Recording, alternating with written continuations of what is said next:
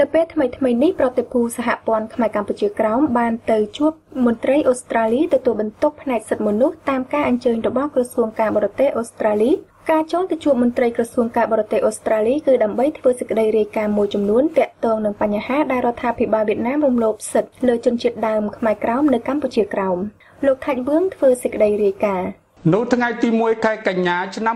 2017សប្តាហ៍នេះសហព័ន្ធខ្មែរកម្ពុជាក្រោមទៅតែត្រូវបានអញ្ជើញឲ្យទៅចូលរួមក្នុងកិច្ចប្រជុំដើម្បីស្ដាប់របាយការណ៍លទ្ធផលពីកិច្ចពិភាក្សាសិទ្ធិមនុស្សលើកទី14រវាងប្រទេសអូស្ត្រាលីនិងវៀតណាមពីលោក Lakeland Strathern ជាអ្នកជំនួយការលេខាធិការទី1នៃនាយកដ្ឋានគោលនយោបាយពហុភាគីដែលជាប្រធានគណៈប្រតិភូនៃកិច្ចពិភាក្សានេះដែលបានប្រព្រឹត្តទៅកាលពីថ្ងៃទី10ខែសីហាឆ្នាំ2017នៅទីក្រុងកង់បេរ៉ាប្រទេសអូស្ត្រាលីប្រតិភូសហព័ន្ធខ្មែរកម្ពុជាក្រោមដែលបានធ្វើដំណើរចូលរួមក្នុងកិច្ចប្រជុំនេះរួមមាន លោកលីថនតឹងអ្នកស្រីត្រឹងធីងានិងនាងគឹមកាត់ត្រីនី ក្រោយពីកិច្ចពិភាក្សាសិទ្ធិមនុស្សលើកទី14រវាងប្រទេសអូស្ត្រាលីនិងវៀតណាមក្រសួងការបរទេសអូស្ត្រាលីបានចេញសេចក្តីប្រកាសព័ត៌មានមួយសម្ដែងពីក្តីព្រួយបារម្ភអំពីស្ថានភាពសិទ្ធិមនុស្សនៅក្នុងប្រទេសវៀតណាម យោងតាមការប្រកាសព័ត៌មានចេញថ្ងៃទី21ខែសីហាឆ្នាំ2017សប្តាហ៍នេះបានកត់សម្គាល់ថាប្រទេសអូស្ត្រាលីសម្ដែងការព្រួយបារម្ភយ៉ាងខ្លាំងអំពីការរឹតបន្តឹងជាបន្តបន្ទាប់ទៅលើសិទ្ធិពលរដ្ឋនិងសិទ្ធិនយោបាយ ដែលរួមមានសិទ្ធិសេរីភាពនៃការបញ្ចេញមតិការបង្កើតសមាគមនិងការជួបប្រជុំគ្នា វាបញ្ជាក់ពីការព្រួយបារម្ភយ៉ាងខ្លាំងអំពីការរំខាន ការចាប់ខ្លួន និងការគុំខ្លួន សកម្មជនសិទ្ធិមនុស្សជាដើមយោងតាមក្រសួងការបរទេស ប្រទេសអូស្ត្រាលីបានបញ្ជាក់ថាអូស្ត្រាលីបានជំនួយដល់ប្រទេសវៀតណាមរាប់លានដុល្លារតាមរយៈកម្មវិធី ODA នៅឆ្នាំ2016និងឆ្នាំ2017កម្មវិធីជំនួយ ODA របស់អូស្ត្រាលីបានជំនួយដល់ប្រទេសវៀតណាមសរុប86.6លានដុល្លារនិងឆ្នាំ2017និង2018ចំនួន84.2លានដុល្លារ រដ្ឋាភិបាលកម្ពុជាបន្តរងការថ្កោលទោសពីអន្តរជាតិករណីចាប់ខ្លួនលោកកឹមសុខារដ្ឋាភិបាលកម្ពុជាបន្តទទួលរងការថ្កោលទោសជាបន្តបន្ទាប់ពីសហគមន៍អន្តរជាតិនិងអតីតអាណានិគមនិយមនៅតំបន់ឥណ្ឌូចិនក្រោយមានការចាប់ខ្លួនមេបកប្រឆាំងដោយចោទពីបទក្បត់ជាតិ ប្រតិកម្មថ្កោលទោសជាហូហែមកដល់ពេលនេះធ្វើឡើងបន្ទាប់ពីប្រធានគណៈបកសង្គ្រោះជាតិលោកកឹមសុខាត្រូវបានអាជ្ញាធរចាប់ខ្លួននៅគេហដ្ឋានរបស់លោកកាលពីយប់ថ្ងៃទី2កញ្ញាតាមបញ្ជាផ្ទាល់ពីលោកនាយករដ្ឋមន្ត្រីហ៊ុនសែនក្រោមបទចោទប្រកាន់ថាប្រព្រឹត្តអំពើក្បត់ជាតិនិងខុបខិតជាមួយបរទេសផ្ដួលរំលំរដ្ឋាភិបាលស្របច្បាប់កាលពីថ្ងៃទី5កញ្ញាម្សិលមិញ ទូតបារាំងប្រចាំកម្ពុជាបានសម្ដែងក្តីព្រួយបារម្ភចំពោះការចាប់ខ្លួនមេបករូបនេះនិងថារដ្ឋាភិបាលកម្ពុជាត្រូវប្រកាន់មាគ៌ាតាមបែបលទ្ធិប្រជាធិបតេយ្យនៅក្នុងដំណើរឆ្ពោះទៅរកការបោះឆ្នោតជ្រើសតាំងតំណាងរាស្ត្រឆ្នាំ2018ខាងមុខ សេចក្តីថ្លែងការណ៍ដោយឡែកមួយទៀតដែលចេញផ្សាយកាលពីម្សិលមិញសហព័ន្ធអន្តរជាតិដើម្បីសិទ្ធិមនុស្ស International Federation for Human Rights បានចូលរួមអំពាវនាវឲ្យដោះលែងប្រធានបកសង្គ្រោះជាតិលោកកឹមសុខា និងសមាជិកបកប្រឆាំងដែលជាប់ពន្ធនាគារផ្សេងទៀតជាបន្ទាន់ អង្គការអន្តរជាតិមួយនេះក៏ទទូចឲ្យរដ្ឋាភិបាលលុបចោលបទបញ្ញត្តិក្នុងច្បាប់បកនយោបាយនិងច្បាប់ស្តីពីអង្គការសមាគមដោយថាច្បាប់ទាំងនេះកំពុងរដ្ឋបិទដល់សិទ្ធិសេរីភាពគណៈបកនយោបាយអង្គការសង្គមស៊ីវិលនិងបណ្ដាញសារព័ត៌មានឯករាជ្យប្រធានសហព័ន្ធអន្តរជាតិដើម្បីសិទ្ធិមនុស្សលោក Dimitris Christopoulos ហៅការចាប់ខ្លួនលោកកឹមសុខា ថាជាការវាយប្រហារនិងបោសសម្អាតសម្លេងប្រឆាំងមុនការបោះឆ្នោតថ្នាក់ជាតិឆ្នាំ2018លោកស្នើឲ្យសហគមន៍អន្តរជាតិដាក់គំនាបនយោបាយលើរដ្ឋាភិបាលកម្ពុជាដោយថាដើម្បីកុំឲ្យប្រទេសនេះคล้ายទៅជារបបផ្ដាច់ការក្នុងសេចក្តីថ្លែងការណ៍លោកមានប្រសាសន៍ថាការចាប់ខ្លួនលោកកឹមសុខាគឺជាផ្នែកនៃការវាយប្រហាររបស់លោកហ៊ុនសែនដើម្បីបោសសម្អាតនៅទម្រង់ប្រឆាំងនៅមុនការបោះឆ្នោតនាឆ្នាំក្រោយវាជារឿងចាំបាច់ដែលសហគមន៍អន្តរជាតិត្រូវបង្កើនការដាក់គំនាបនយោបាយ ដើម្បីទប់ស្កាត់កុំឲ្យប្រទេសកម្ពុជាធ្លាក់ចូលទៅក្នុងរបបផ្ដាច់ការដែលមិនអាចស្រោចស្រង់ឡើងវិញបាន ក្នុងពិធីជួបជាមួយគណៈកម្មការកម្មការនីនៅថ្ងៃពុធនេះលោកហ៊ុនសែនបានថ្លែងការពីចំណាត់ការចាប់ខ្លួនលោកកឹមសុខាថាត្រឹមត្រូវតាមនីតិវិធីច្បាប់លោកថែមទាំងព្រមានទៅក្រុមអង្គការអន្តរជាតិឲ្យប្រយ័ត្នប្រយែងក្នុងការចេញសេចក្តីថ្លែងការណ៍ពាក់ព័ន្ធនឹងការចាប់ខ្លួននេះ លោកហ៊ុនសែនបានដាក់ការចោទប្រកាន់ដោយទំនងសម្ដៅលើរដ្ឋាភិបាលសហរដ្ឋអាមេរិកថាបានជួយគ្រប់គ្រងសេនាប្រមុខលន់ នល់ផ្ដួលរំលំរបបគ្រប់គ្រងដោយសម្ដេចសីហនុនិងប្រដូចថាអាមេរិកហាក់កំពុងដើរតាមគន្លងចាស់ដោយបន្តគ្រប់គ្រងឬនៅពីក្រោយបកប្រឆាំងបដូររំលំរដ្ឋាភិបាលរបស់លោកលោកកឹមសុខាគឺជាមនុស្សទី3ដែលត្រូវបានរដ្ឋាភិបាលរបស់លោកហ៊ុនសែនបញ្ជាឲ្យអាជ្ញាធរចាប់ខ្លួនដាក់ពន្ធនាគារបន្ទាប់ពី លោកញឹកប៊ុនឆៃប្រធានគណៈបកផ្នែករួបរวมជាតិដោយចោទពីបទផលិតគ្រឿងញៀននិងលោកសួនសេរីរដ្ឋាប្រធានគណៈបកអំណាចខ្មែរដោយចោទពីបទប្រមាថកងទ័ពជាតិនិងប្រមាថព្រះមហាក្សត្រសហគមន៍ខ្មែរនៅក្រៅប្រទេសក្រុងធ្វើបាតុកម្មសុំឲ្យដោះលែងលោកកឹមសុខា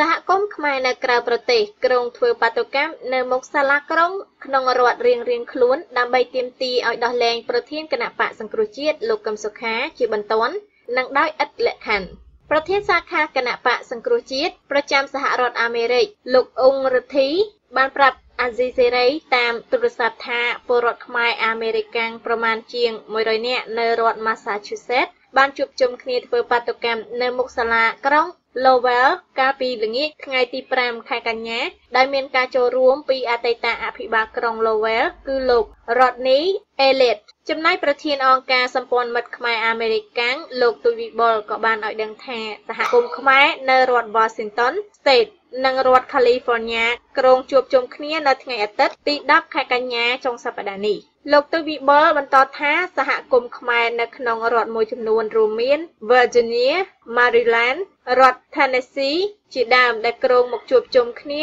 តវ៉ានៅថ្ងៃសុក្រទី15ខែកញ្ញានៅក្នុងរដ្ឋធានី Washington ចំណែកសហគមន៍ខ្មែរនៅប្រទេសកាណាដានិងអូស្ត្រាលីវិញក៏គ្រោងធ្វើបាតុកម្មតវ៉ានៅថ្ងៃសៅរ៍ទី9ខែកញ្ញាខាងមុខនេះ តំណាងរាស្ត្រខ្មែរអូស្ត្រាលីលោកហុងលីមដែលដឹកនាំបាតុកម្មធ្វើឡើងនៅមុខសាលាក្រុង Springwell ក្នុងរដ្ឋ Victoria បានប្រកាសថាពលរដ្ឋខ្មែរអូស្ត្រាលីមានការខកចិត្តនិងសោកស្ដាយជាខ្លាំងចំពោះវិធានការរបស់រដ្ឋាភិបាលលោកហ៊ុនសែនដែលបានរំលោភអំណាចនិងព្យាយាមកម្ចាត់មេដឹកនាំគណៈបកប្រឆាំងដើម្បីបន្តការដឹកនាំរបស់ខ្លួន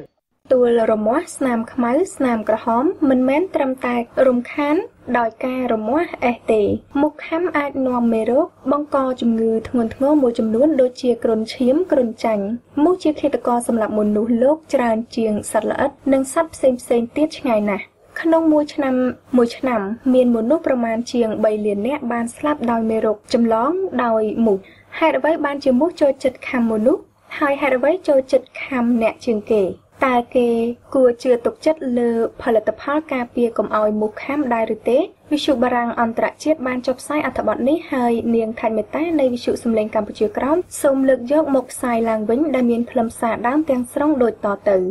អ្នកវិទ្យាសាស្ត្ររកឃើញមានសត្វមូសប្រមាណដល់ទៅជាង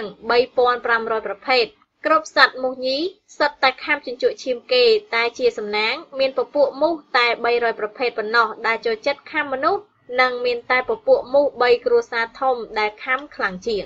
គ្រួសារជាពពួកមូសខ្លាដែលអាចបង្កជំងឺគ្រុនឈាម Zika, Chikungunya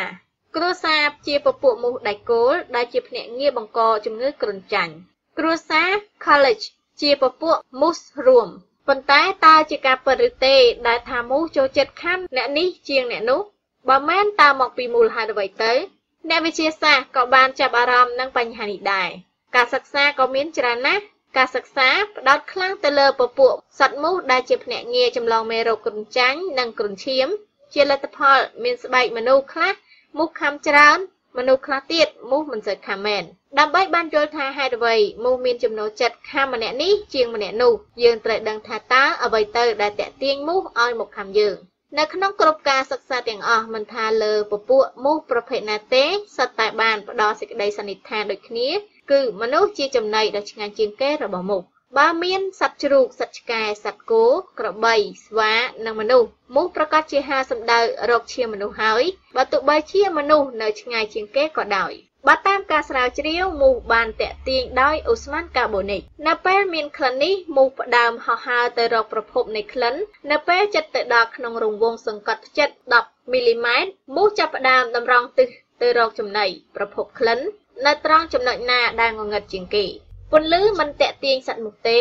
ដូច្នេះដាក់ឬបិទអំពូលភ្លើង បំភ្លឺមិនមែនជាមធ្យោបាយការពារមិនឲ្យមូសខាំខ្លាំងឡើយផ្ទុយទៅវិញមូសមានអាំងហ្វារ៉ូអាចមានសមត្ថភាពមើលឃើញចាប់ទិសដៅចំណីបានតាមរយៈកម្ដៅចាប់ពី37អង្សាទៅពលគឺកម្ដៅខ្លួនមនុស្សចម្ងាយ20សង់ទីម៉ែត្រមុនក្លិននិងកម្ដៅគឺជាអ្វីដែលមនុស្សបញ្ចេញ ហេតុដូច្នេះហើយបានជាមូសចូលចិត្តខាំមនុស្សប៉ុន្តែអ្វីខុសប្លែកពីគ្នាគឺទីតាំងនៃការខាំតាំងពីជាច្រើនទសវត្សរ៍មកហើយអ្នកស្រាវជ្រាវបានដឹងយ៉ាងច្បាស់ពពួកមូខ្លះមានចំណូលចិត្តខាំមនុស្សត្រង់ផ្នែកណាមួយនៃខ្លួនពពួកមូដៃគោលចូលចិត្តខាំនៅជើងកជើង ខ្លះនៅដៃខ្លះនៅកហេតុអ្វីនេះគឺបណ្ដាលមកពីក្លិនញើសអ្នកស្រាវជ្រាវបានសម្គាល់ឃើញថាក្លិនញើសតាក់ទាញមូសខ្លាំងណាស់ ពីព្រោះនៅក្នុងញើសមានអូស្មန်កាបូនិកម្យ៉ាងវិញទៀតការស្រាវជ្រាវកាន់តែស៊ីជម្រៅបានបង្ហាញថាមូសមានអង្តែននៅក្បែរត្រនិចរបស់វាដែលអាចចាប់មិនមែនត្រឹមតែក្លិននិងកម្ដៅខ្លួនមនុស្សទេ តែអាចចាប់ដឹងថាមានពពួកមីក្រូមដែលពួកគេចង់ស៊ីនៅតោងនៅលើស្បែករបស់មនុស្សយើងដោយសារតែសមាសភាពនៃបាក់តេរីលើស្បែកនេះឯងដែលមូសចង់ខាំអ្នកនេះជាងអ្នកនោះហើយមូសខ្លះចូលចិត្តខាំអ្នក ពពួកមូសខ្លះទៀតមិនចូលចិត្តឡើយមូសមានច្រើនប្រភេទណាស់គេរាប់ឃើញបានទៅដល់65ប្រភេទនៅប្រទេសបារាំងមូសពពួកអាណាហ្វាល់ដែលជាភ្នាក់ងារបង្កជំងឺគ្រុនចាញ់ចូលចិត្តខាំស្បែកណាដែលមានសមាសភាពបាក់តេរី បង្កឲ្យមានក្លិននៅជើងចោះតើការសម្គាល់ដែលថាមូសខាំមកពីឈាមផ្អែមតើអ្នកស្រាវជ្រាវពន្យល់យ៉ាងដូចម្តេចដែរ គេធ្លាប់និយាយច្រើនអំពីករណីឈាមផ្អែមឈាមក្តៅស្បែកផ្អែមទើបមូសចូលចិត្តខាំមានជំនឿខ្លះទៀតយល់ថាការទទួលទានចំណីមួយចំនួនក៏តាក់ទាញមូសឲ្យខាំដែរប៉ុន្តែគេទំនងជាត្រូវរងចាំសិនរងចាំក្រែងមានការស្រាវជ្រាវផ្ដល់លទ្ធផលជាក់ស្ដែងណាមួយពីការរកឃើញបច្ចុប្បន្នគិតមកទល់ពេលនេះគ្មានការសិក្សាណាបង្ហាញថាមូសចូលចិត្តឈាមផ្អែមឬឈាមត្រជាក់ទេនៅក្នុងគ្រប់ការវិភាគកន្លងមក បំរែបំរួលប្រភេទឈាមឬអត្រាជាតិស្ករក្នុងឈាមមិនបានបដូរផ្លាស់តរយៈកាលនៃការខាំរបស់មូសឡើយប៉ុន្តែការតាក់ទងនឹងរបបចំណីអាហារនៅក្នុងការស្រាវជ្រាវកាលពីឆ្នាំ2010អ្នកវិភាគបានរកឃើញថាការបរិភោគស្រាបៀរបានបង្កើនគ្រោះហានិភ័យមូសខាំខ្លាំងបើតាមការពន្យល់តាមបែបវិទ្យាសាស្ត្រមូសចូលចិត្តខាំអ្នកផឹកស្រាបៀរក៏ព្រោះបៀរក៏ដូចជាសូរ៉ាផ្សេងទៀត នៅពេលទទួលទានចូលទៅ វាបានបង្កើនការបែកញើសបង្កើនការបញ្ចេញអូស្មန်កាបូនិកហើយគឺអូស្មန်កាបូនិកនិងញើសនេះឯងដែលជាអ្នកតាក់ទីមូសមូសខាំហាមអេសហេតុអ្វីនៅពេលមូសខាំបឺតជាមនុស្សមូសបានបញ្ចេញទឹកមាត់វាបញ្ចូលទៅក្នុងស្បែកយើងដើម្បីពង្រាវឈាម គឺវត្តមានទឹកមាត់មូសដែលប្រព័ន្ធការពារត្រូវបញ្ចេញប្រតិកម្មប្រឆាំងដោយបញ្ជូនម៉ូលេគុលហ៊ីតាមីន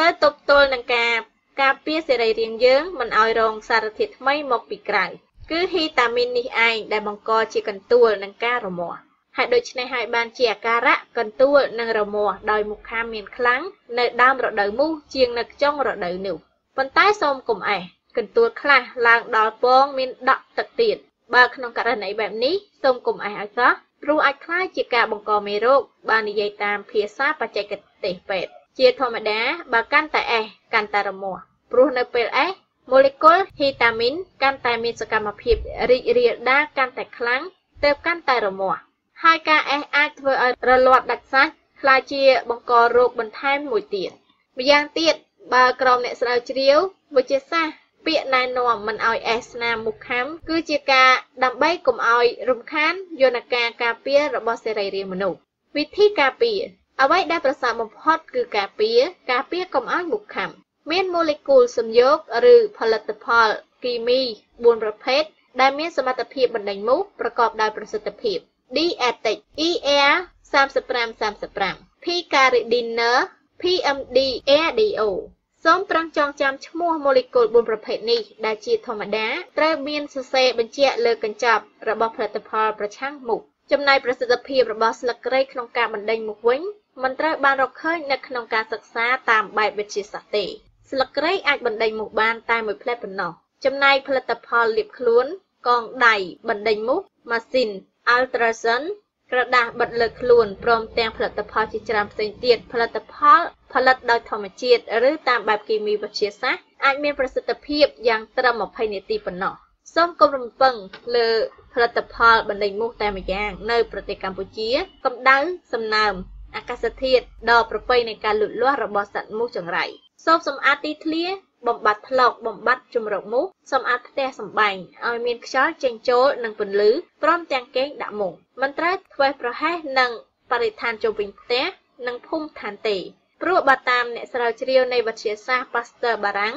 មូសកាចនឹងបង្កគ្រោះថ្នាក់ខ្លាំងគឺអាស្រ័យលើបរិស្ថាននៃកំណើតរបស់ពួកគេ សមត្ថភាពចម្លងជំងឺរបស់មូសមកមនុស្សប្រែប្រួលទៅប្រភពទឹកដក់ដែលបង្កបង្កើតពួកគេ ប៉ុន្តែអ្នកវិទ្យាសាស្ត្រពុំទាន់មានចម្លើយថាតើមូសស្រុកនិងមូសព្រៃមួយណាគ្រោះថ្នាក់ជាងមួយណាទេចា៎លោកអ្នកស្ដាប់ជាទីមេត្រីកម្មវិធីផ្សាយនៃវិទ្យុសំឡេងកម្ពុជាក្រោមដែលបានផ្សាយជូនលោកអ្នកស្ដាប់នៅពេលនេះចាប់តែប៉ុណ្ណេះសូមលោកអ្នកនាងរងចាំស្ដាប់កម្មវិធីផ្សាយនិងអានព័ត៌មានរបស់យើងខ្ញុំជារៀងរាល់ថ្ងៃតាមរយៈគេហទំព័រ www.vokk.net នាងខ្ញុំថៃសុចិតាព្រមទាំងសហការីនៃក្រុមផ្សាយទាំងអស់សូមអរគុណនិងសូមជម្រាបលា